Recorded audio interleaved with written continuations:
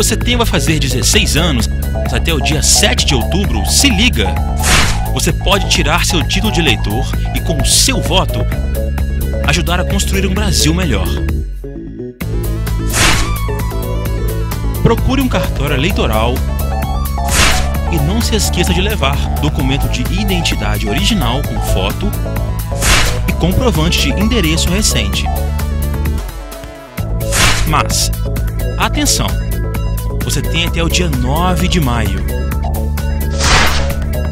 Vamos lá, faça seu título de eleitor. O voto muda tudo.